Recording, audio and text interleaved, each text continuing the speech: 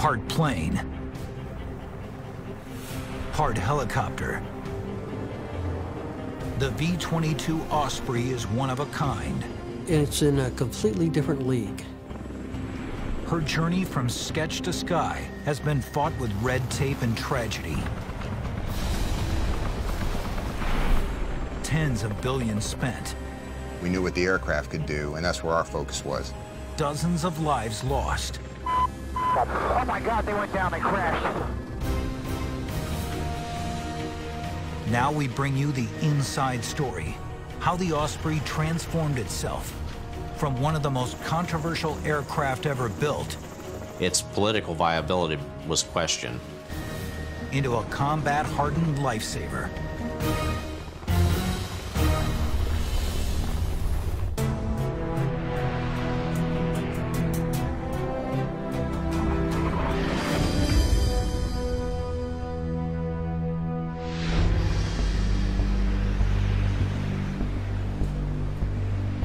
November 8th, 2013.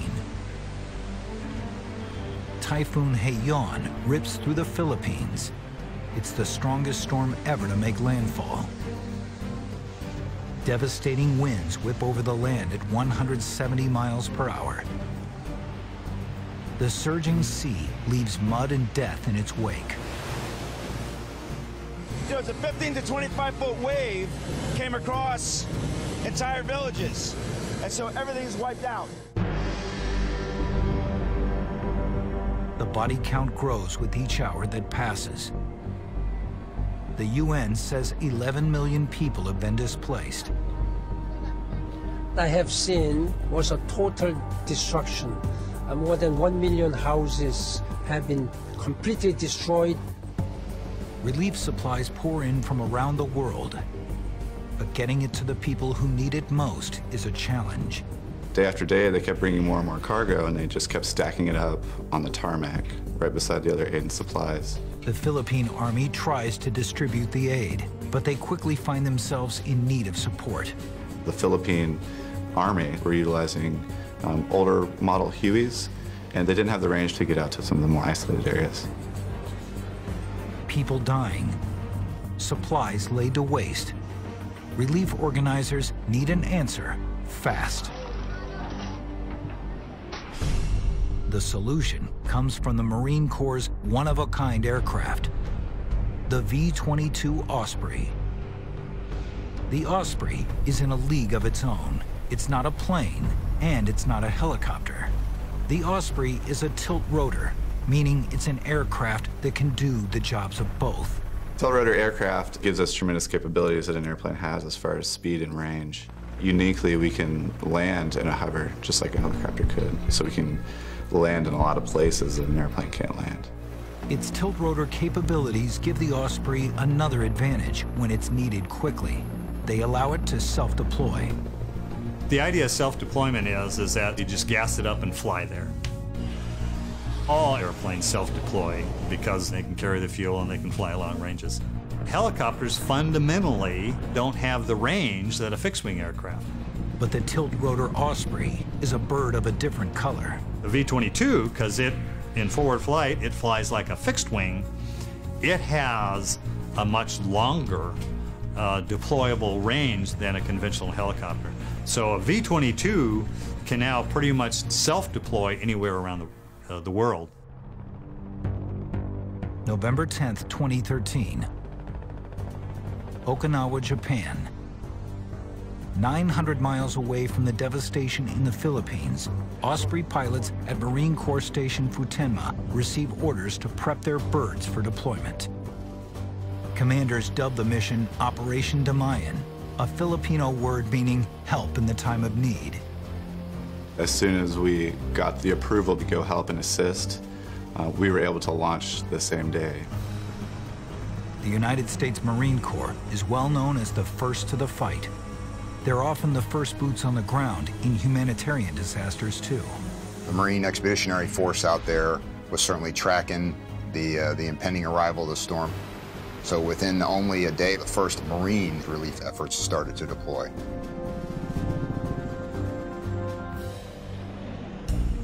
Fully loaded, The Osprey has a range of 450 miles, but the 900-mile flight from Okinawa to the Philippines won't stop the Osprey from getting there fast. That's because it can do something most helicopters can't, refuel mid-air.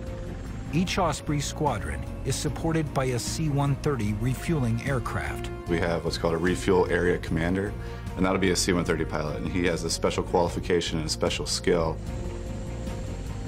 Halfway through their flight, the Ospreys must refuel. Even with hours of practice, it's a risky aerial ballet. The Osprey carefully aligns with the C-130. They fly a mere 15 feet away from each other at 230 miles per hour. Two hazards complicate the refueling process. The Osprey's powerful twin rotors, 38-foot blades spinning at 333 revolutions per minute. Halfway through its journey, the C-130 crew extends a fuel hose. The Osprey moves close to lock on. You're definitely concerned about potential hazards. Worst case scenario, prop rotor blade contacting the C-130.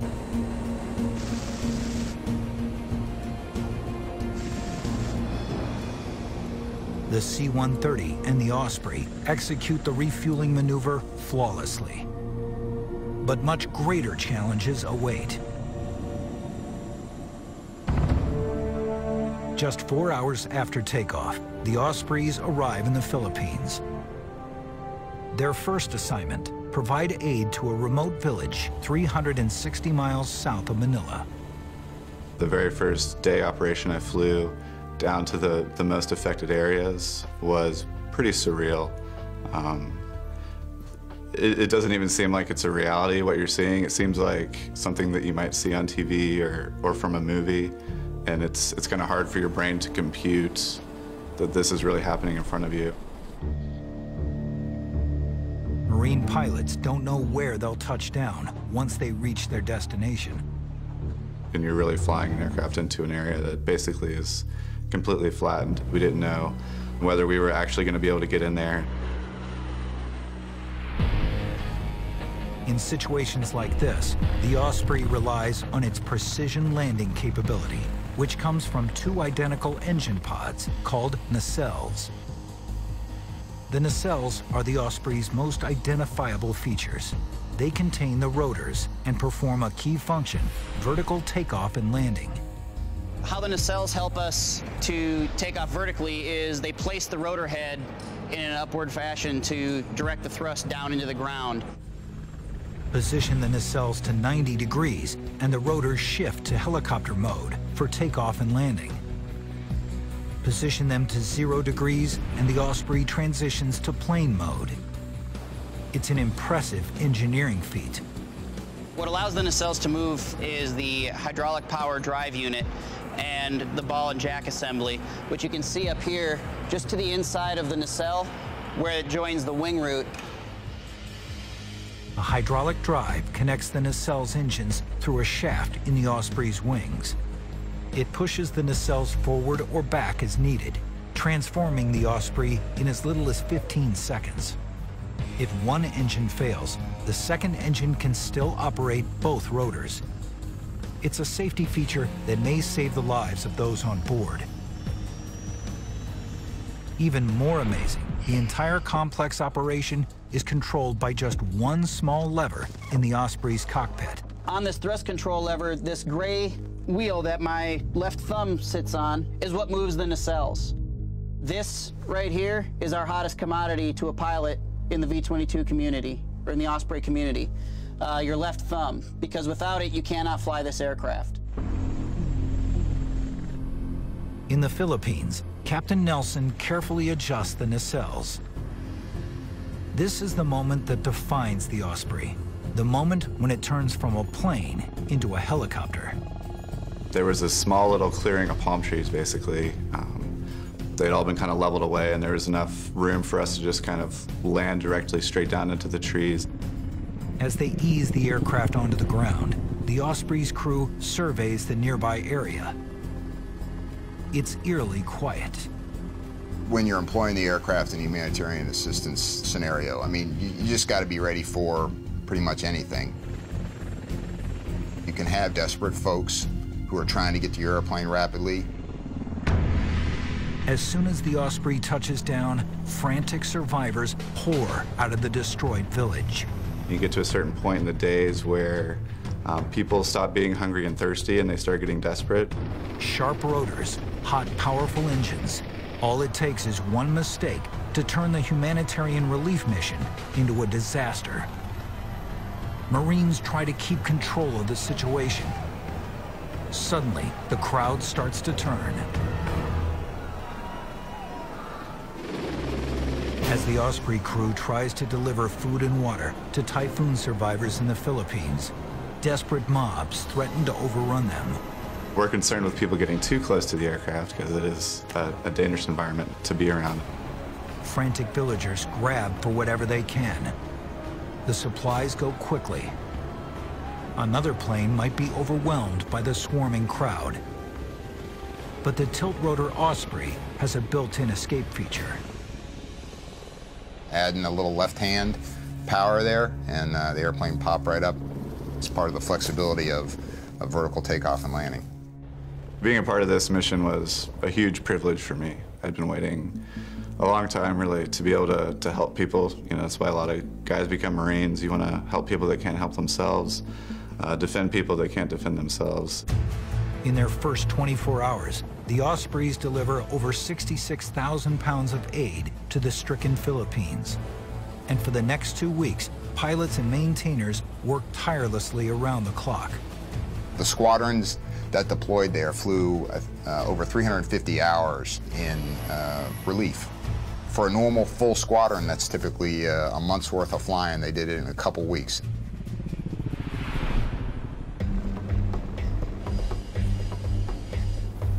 Large payloads, long distances, fast. That's the Osprey's specialty, its primary purpose. Before the Osprey, Marine aircraft struggled to deliver. Their existing fleet of helicopters lacked the range to do their job, leading to one of the Marines' most infamous and unforgettable failures. November 1979, Tehran, Iran. The U.S. Embassy is under siege. Angry Iranian students accuse the United States of undermining their revolution. The students take 66 U.S. diplomats hostage. They demand the return of the recently overthrown Shah hiding in the U.S. The U.S. balks at the request. We refuse to permit the use of terrorism and the seizure and the holding of hostages to impose political demands. The middle of the Persian Gulf, United States supercarrier USS Nimitz starts buzzing with activity. After two months of practice, the clock is about to start on a top-secret mission, Operation Eagle Claw. Operation Eagle Claw was a rescue attempt for the hostages that were being held in the U.S. Embassy in Tehran. This particular mission was perhaps the most complicated that was ever attempted by U.S. Special Forces. One thing that makes the rescue so complicated, the embassy's location. Tehran and its suburbs are surrounded by more than 700 miles of sand. The distances were so great that there was no helicopter available that could cover the distance in one hop. Getting the choppers directly into the city seems like an impossible task. So commanders come up with a daring strategy. Marine pilots will use the empty desert to their advantage. The solution was to create a, a, refueling point out in the desert, many hundreds of miles out in the desert from Tehran. The refueling location is top secret. Its code name, Desert One. At Desert One, Air Force C-130s would bring in fuel for the Marine helicopter crews, which would then uh, stage to another site in preparation for the transport of the hostages. The mission involves over a hundred U.S. troops and a dozen aircraft. It was essentially turning much of central and northern Iran into a complex chessboard, uh, moving these pieces around over about a 48 hour period. It's a risky plan, But the mission needs to work. American lives depend on it. April 24th, 1980. At twilight, eight helicopters take off from the USS Nimitz, headed for Desert One. Not long into their flight, two of them notice something wrong. Of the eight aircraft that were sent in, two had to abort on the way. They ran into essentially a sandstorm uh, that caused some problems. Only six choppers are left. Four hours after takeoff, they finally arrive. But their trouble is far from over. Another aircraft, upon arrival at Desert One, was damaged. At that point, uh, only five of the eight aircraft were available. That was below the minimum considered necessary to complete the mission. And so at that point, a decision was made to abort the mission. U.S. troops and hundreds of millions of dollars worth of military equipment are now in limbo behind enemy lines. Commanders know the top secret location won't stay that way for long. As the military scrambles to get everyone out, the unthinkable occurs. As uh, one of the helicopters was repositioning, it drifted in the darkness into the wing of a C 130.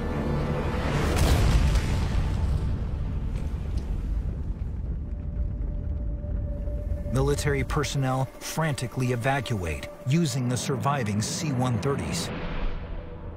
They leave five damaged choppers behind, and something much worse. To my deep regret, eight of the crewmen of the two aircraft which collided were killed, and several other Americans were hurt in the accident. The failed operation humiliates America, and especially the Marines. If they'd been flying a better aircraft, things might have been different. Desert One actually confirmed what the Marine Corps had believed all along and for many years. We needed a high speed, long range aircraft with a vertical takeoff capability. If we'd had one at that time, it would have been possible to execute that mission in one night and, uh, and be out of there. The Pentagon agrees. In December 1981, they start the Joint Service Vertical Takeoff and Landing Experimental Program, JVX for short. The JVX program was launched to create a new type of joint vertical takeoff and landing aircraft that could be used across different military services. Each branch of the armed forces contributes $4.5 million. The Army wanted a new uh, electronic warfare aircraft. Uh, the Navy was looking for a new uh, fleet support aircraft, and the Air Force wanted a new aircraft for their special missions capability. The Marines want the JVX even more than the others. They've been fighting for a long-range chopper for over 20 years. One of the key developments during the 1960s was the uh, increased use of what are known as anti-shipping missiles. These are uh, land-based missiles that are designed to attack ships some distance offshore. This really complicated uh, the Marine Corps doctrine of amphibious assault. The new missiles forced the Marines to anchor farther out to sea, too far for their CH-46 choppers to be effective. The CH-46 Sea Knight was a very capable helicopter for the time, but with the advent of anti-shipping missiles, this aircraft really struggled to deliver Marines to the destinations that they needed to be. The Marines pride themselves on being America's first responders, but without a better aircraft to get them to the battlefield, they have no way to meet their mission. The Marines were highly dependent upon the success of the JVX program. Their existing fleet of aircraft was beginning to age. It did not have the capability that they really needed to have successful operations. Congress issues a request for proposals. Only one comes in. A collaboration between Bell Helicopter and Boeing Aircraft.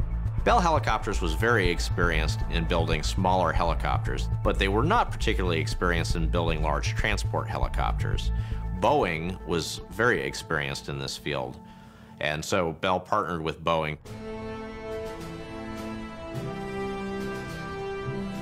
May 23, 1988, Arlington, Texas. Bell Boeing spares no expense for the debut of their pioneering design. When the V-22 Osprey rolls out, top government officials and a crowd of 1,600 people witness the historic moment. Few in the world have ever seen such a strange-looking aircraft.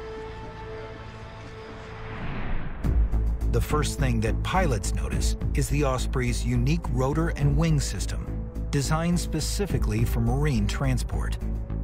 In order to reduce the footprint of the aircraft to something that will fit on the ships, what we try to do is get the aircraft down to just as wide as you can see here when you're looking head on. The width of the Osprey extends 84 feet. But in an instant, the Osprey changes shape. With the nacelles in a 90 degree position, the rotor blades fold inward, rotate the nacelles again, and the entire wing turns 90 degrees in line with the body of the Osprey. The transformation is complete in 90 seconds or less. The stowed width is a mere 18 and a half feet. It's extremely functional for us on the boat. By the time we land, shut down, and fold the aircraft, usually your tow crews are already hooked up and starting to drag you off the spot. The Osprey flies at twice the speed of any other military helicopter, up to 316 miles per hour. That's thanks to two 6,150 horsepower Rolls-Royce engines. As far as the amount of power that the aircraft provides, uh, if you're standing below the aircraft when we take off, it would be the equivalent of standing in about an 80 to 100 mile an hour wind. So there's a lot of force that's created by these engines. They're extremely powerful. Powerful engines get the Osprey to the fight fast, and powerful weapons protect it once it's there. Should it come under fire, the Osprey's main defense is either a 50 caliber or 7.62 millimeter machine gun.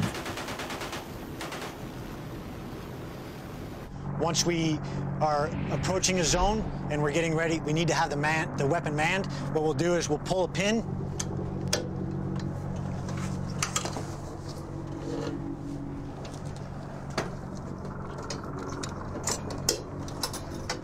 And then the crew chief will be on the ramp. The ramp will be level, and the crew chief will be manning the weapon, and we'll just be able to scan the entrance into the area where we're going for any kind of a hostile target if we need to. It looks like the JVX program has delivered the goods, but all this fancy technology comes at a price. When it debuts, the Osprey is already a $2 billion program. Manufacturers calculate future costs will skyrocket to 15 times more. The Marines are desperate for the Osprey and confident the aircraft will be worth the price. But the Army reviews the program and drops out. They were doing a major restructuring, modernization of their entire helicopter fleet. It was uh, essentially a budget decision for them. With the largest branch of the service out of the picture, the burden to fund the program now falls on the back of the smallest, the Marines. When the Army dropped out, it greatly increased the unit costs of the Osprey for the Marine Corps. The Osprey's rising costs also score some enemies, including the new Secretary of Defense, Dick Cheney. The Department of Defense was looking for a program to kill at that time, a major program. And uh, Mr. Cheney was advised that the Osprey would be a good one to kill.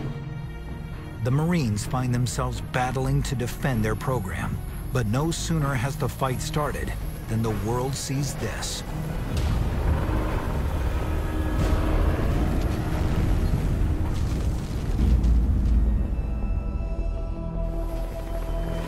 This is the maiden test flight of Osprey prototype number five. Miraculously, the two men inside escape, but the aircraft is completely destroyed. Questions quickly arise. What could have caused such a devastating crash just minutes after takeoff? A postmortem reveals that the flight control system had been miswired. Examination of Osprey prototypes 1 and 3 reveal a similar problem. Bell Boeing rushes to correct it and promises to do better. Accountability issues, cost overruns, The Osprey looks like a bird with its head on the chopping block. Anytime you have a problem in a program, everybody starts looking to take your money and move it somewhere else. But the Marines have waited a long time for this aircraft. They won't give it up easily.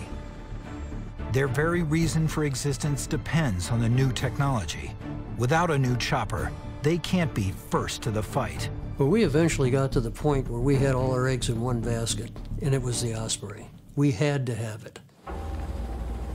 The Marine Corps was adamant that they have an aircraft that allowed it to perform its mission.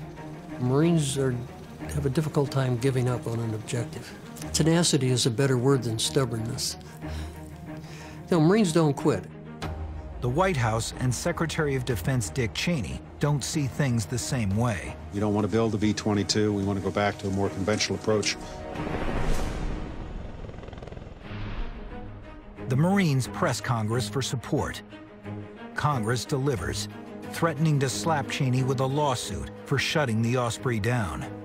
Congress has always been our friend because I think people recognize that the Marine Corps gives them the maximum bang for the buck. And uh, when you invest money in the Marines, they, they produce. The threat works. Cheney backs down. After three years in limbo, the Osprey program is back in development. It seems like the Marines are finally on their way to getting the long-awaited aircraft. But the celebrations are short-lived. July 20th, 1992. The Marine Air Facility in Quantico, Virginia. One of five Osprey prototypes undergoes flight testing. About a half a mile from the runway, the Osprey suddenly drops right into the Potomac River. It was clear that uh, nobody was going to get out under the circumstances, the way it went in. Three Marine pilots and four Boeing contractors die. The Department of Defense grounds the four remaining Ospreys while they look for the cause. Oil had been leaking into the nacelle, and when they rotated the nacelle to the vertical position, the engine ingested the oil, had a flash fire, and it crashed. The Osprey program reels from the tragedy. Congress threatens to withdraw support. If it's a system problem in the technology, then it could mean major problems for the program. A month later, the Osprey becomes a campaign issue. President Bush's Secretary of Defense Dick Cheney is still lukewarm on the aircraft.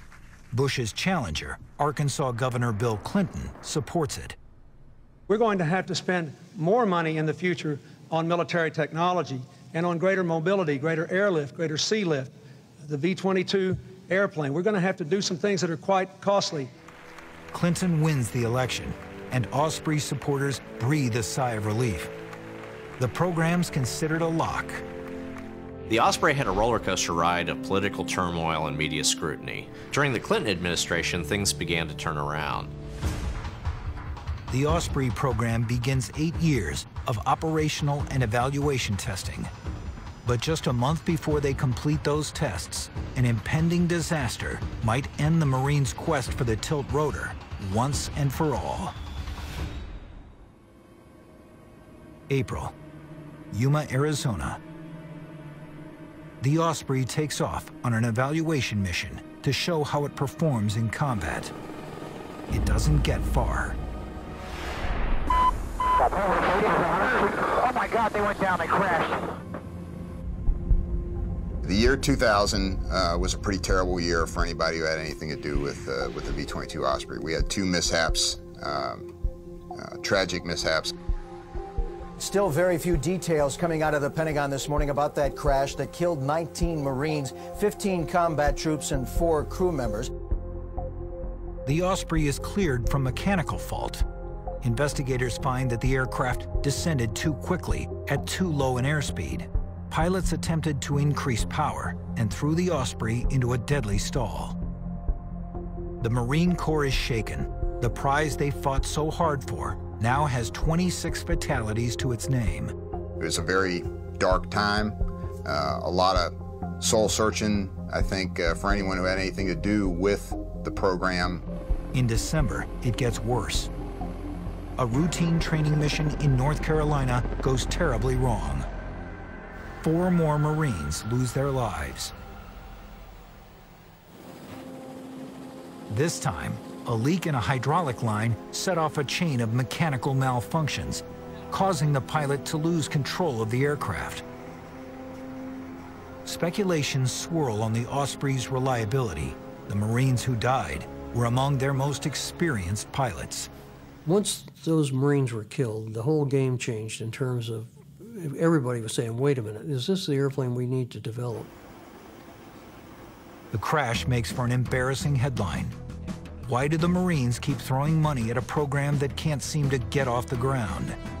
Most modern aircraft programs have a checkered past in terms of having accidents on record.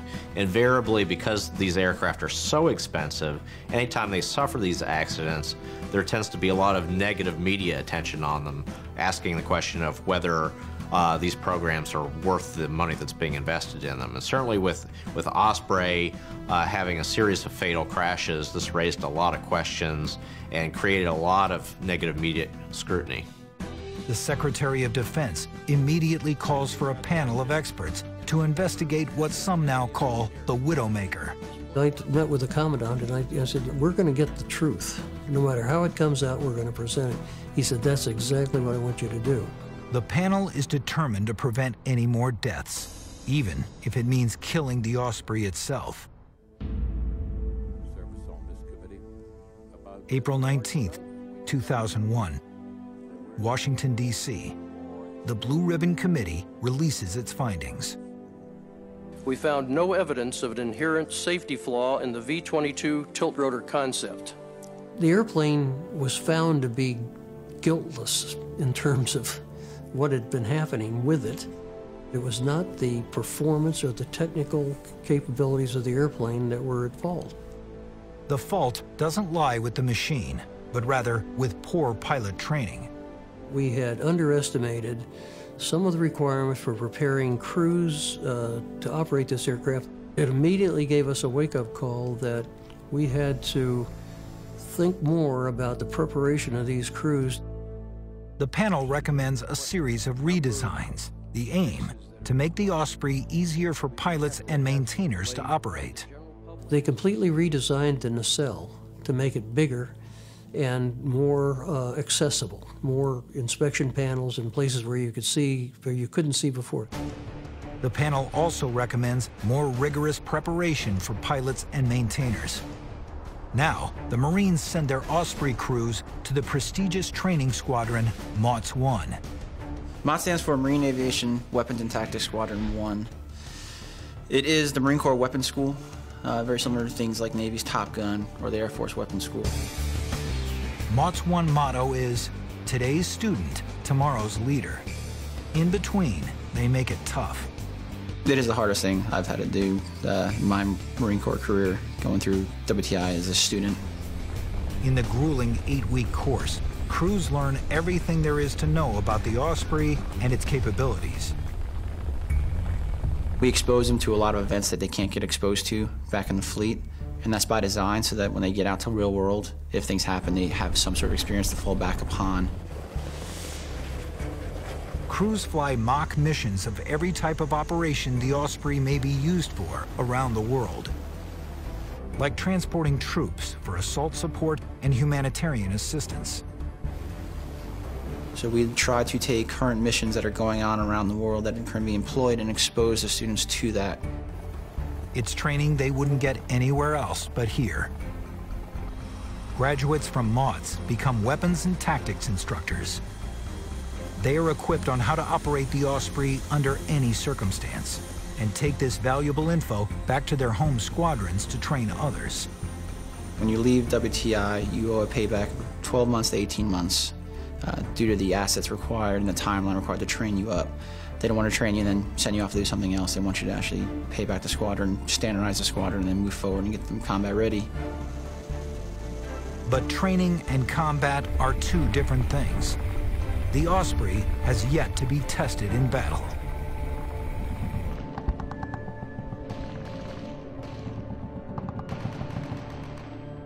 September 10, 2007, Iraq. Operation Iraqi Freedom rages into its fourth year. From inside Fallujah, 4,000 Marines try to win back the rest of Al Anbar province. To do that, they need to gain control of an area covering 53,000 square miles. There was just a high demand for getting Marines all over the battlefield. A lot of demand for exactly the kind of thing that the V-22 offered. It's the moment the Marines have been waiting for. Time to show the world the true nature of their $69 million bird. We'd been training with the aircraft uh, for an extended period of time. Uh, we felt like we were ready, and uh, it was, you know, we knew it was coming. That's what we prepared for. We were ready to go. Ten Ospreys set sail for Iraq aboard the USS Wasp. Excitement is high among pilots and crews. But halfway there, the crew gets some devastating news. After 18 years of testing, the V-22 is finally on its way to make its combat debut. But the celebration is short-lived. Marines on their way to Iraq see this. Time magazine features the Osprey's mishaps and cost overruns on its cover. It seems as if the Osprey's failure in Iraq is a foregone conclusion, dismissed before it's even had a chance to get in the fight. The Time magazine cover that came out uh, while we had already embarked aboard ship and were sailing over to Iraq uh, was not particularly well received. We saw it as, you know, it was, it was, it was somewhat insulting and annoying. The Ospreys of Marine Medium Tilt Rotor Squadron 263 arrive in Iraq determined to prove their worth. Commanders immediately put them to work.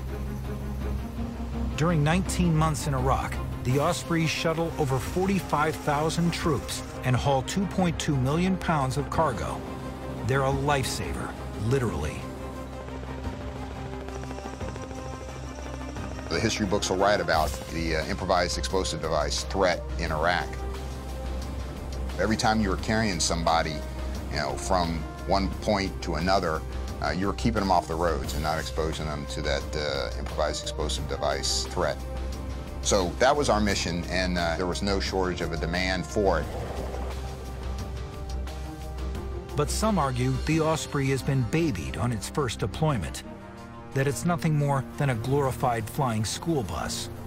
Even the Marines wonder how the Osprey sizes up in riskier combat missions. 24 months later, they find out. 2009, Helmand Province, Afghanistan. The United States is eight years into Operation Enduring Freedom. President Obama orders a surge of 17,000 troops to turn the tide against the Taliban. The fight wears on. Even with the added boots on the ground, the U.S. Marines wage an uphill battle. But on its way is another weapon to help them in their fight, the V-22 Osprey. There were still some, I guess, some people that weren't really convinced on Osprey. We definitely got everybody's attention when we first brought the airplane in. The MAG commander came in, he, he locked eyeballs with me, and he said, exploit the airplane to the maximum extent. Crews are desperate to prove the Osprey can take on dicier challenges. So desperate that the Marines are willing to use it on one of their boldest missions yet. A hundred miles from the Marine airfield in Camp Bastion, a small village is taken over by a local warlord, a safe haven for his drug operation. Money from poppy sales flows to the Taliban to buy equipment and weapons, weapons used to kill American troops. The Marines aim to stop the drug network by taking out its leadership. We had to take off the top of the network, so the people who don't normally communicate with anyone but the top of the network lose that mode of communication. So you've disrupted that network cell. The plan? To fly to the center of the remote village and insert a hundred Marines to capture the warlord in broad daylight. Operation Fazlandri was a uh, daylight uh, snatch from a little bazaar restaurant area that this particular target had been known to frequent. And uh, we wanted to go in there and do it in his own backyard. Here we are, and you're coming with us. The operation is risky. The Taliban has been timing U.S. aircraft. One of the things they were doing when we first got there was people around the airfields would tell other people when we had launched. And so Mr. Taliban calls his buddy saying, hey, they headed this direction. Up until now, it seems like the Taliban have had the upper hand. This particular target bragged about how the Americans can't get us down here. We're safe. This is my turf, very gangland-like. You know, I run this place. The insurgents know exactly how far and how fast the Americans can travel. They'll have weapons at the ready, and Marines know it. Anywhere you go in Afghanistan, you're expecting someone to shoot back at you. The Marines are banking on the Osprey's speed, allowing them to slip by the Taliban's lookouts. Motivation was very high. There's always a level of fear, and we were prepared to deal with it. Four V-22s take off, headed straight into the lion's den. If they're spotted by the Taliban, it could be game over. The Marines arrive at the village undetected, thanks to one of the Osprey's most surprising qualities. The thing about a V-22 people forget is in airplane mode, it's very quiet. You can't hear it come over, even low altitude.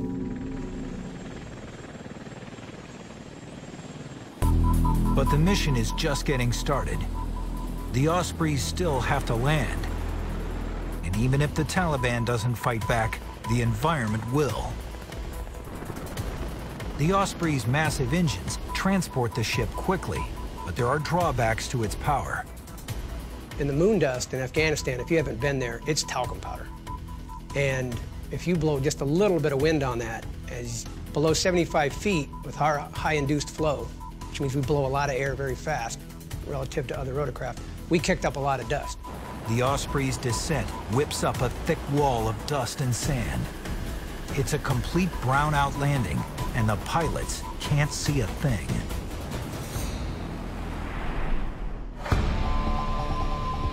Marine Colonel Anthony Bianca flies blind in the tornado of dust whipped up by the Osprey's rotors. Time is of the essence. The Marines risk losing their Taliban target, or worse, their lives. They can't see a thing. For most aircraft, it would be the end of the mission, but not for the Osprey. It can practically land itself. That's because the Osprey is basically a flying computer. Its advanced avionics help it land even when pilots can't see. The Osprey's movements are controlled by what is called a fly-by-wire system, using sensors on the Osprey's body. The system constantly collects data, such as location, airspeed, and altitude. It transmits the data to the Osprey's central computer. Then the fly-by-wire adjusts the Osprey's movements automatically. The system is so exact that the Osprey can land within one square meter of the desired landing zone.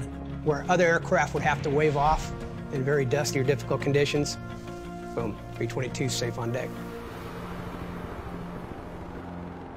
As he approaches the Afghan village, Colonel Bianca relies on the fly-by-wire to bring his Osprey in. His target still has no idea he's being watched.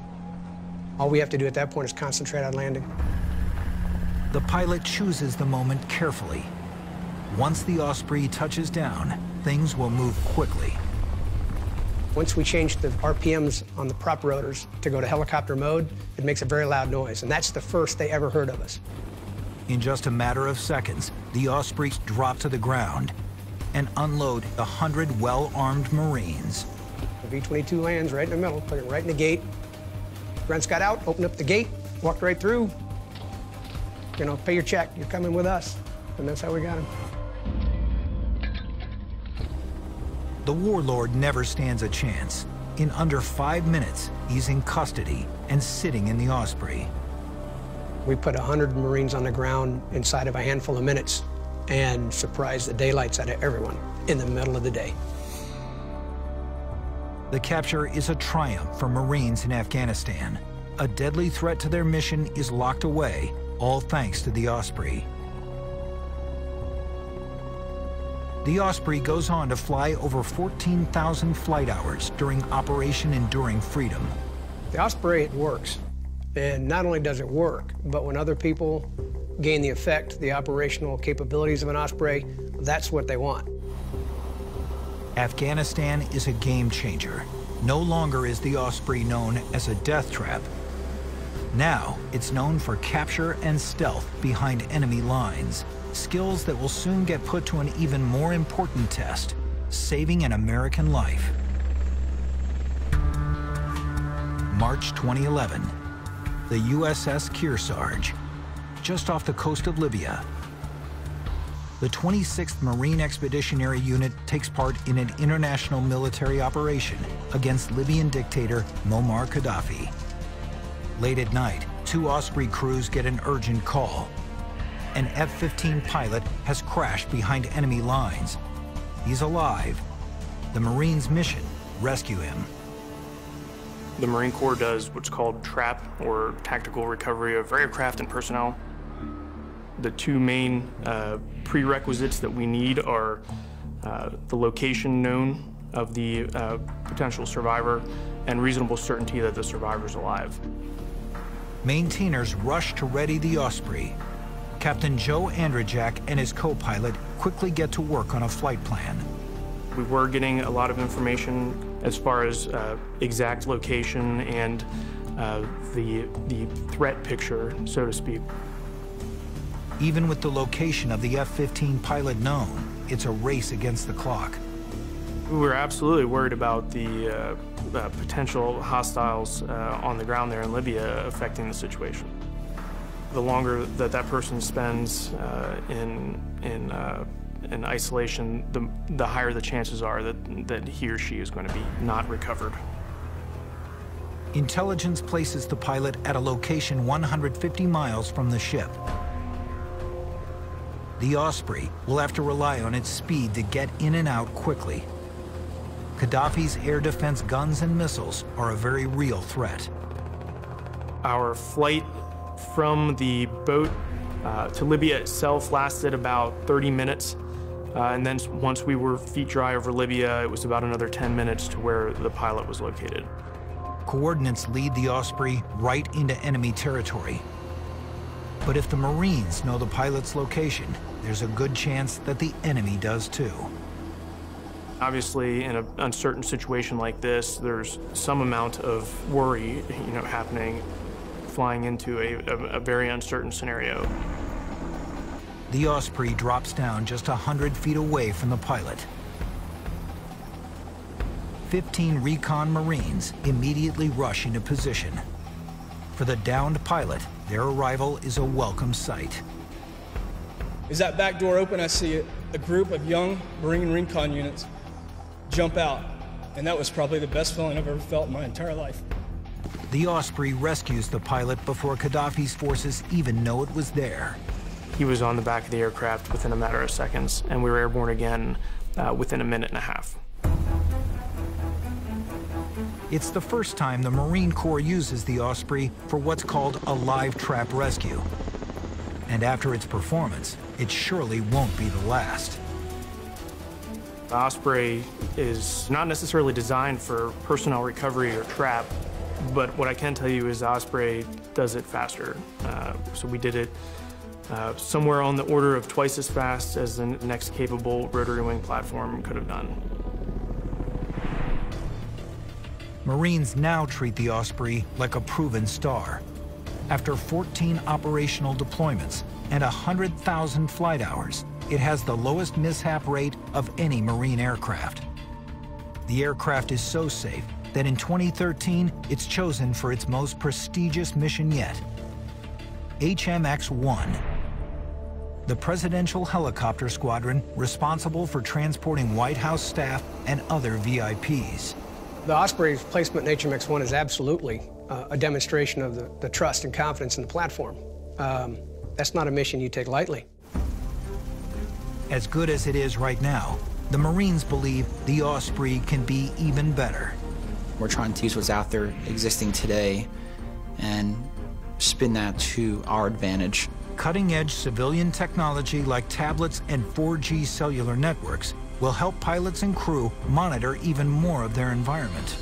These are never-before-used tools in military aviation, saving time and lives. That'll really improve our decision-making, speed, and skill, and the enemy is going to find us harder to deal with because we're going to be faster than them in terms of decision-making and tempo.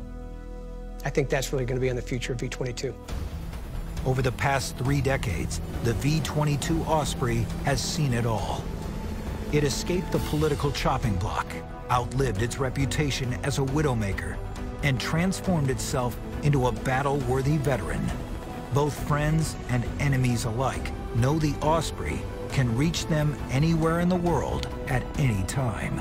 I have Marines that can maintain them. I got pods that can fly the daylights out of them. I can go anywhere you want, anytime you want, with anything you want. And I'm going to bring with it a Marine Corps attitude and that type of capability.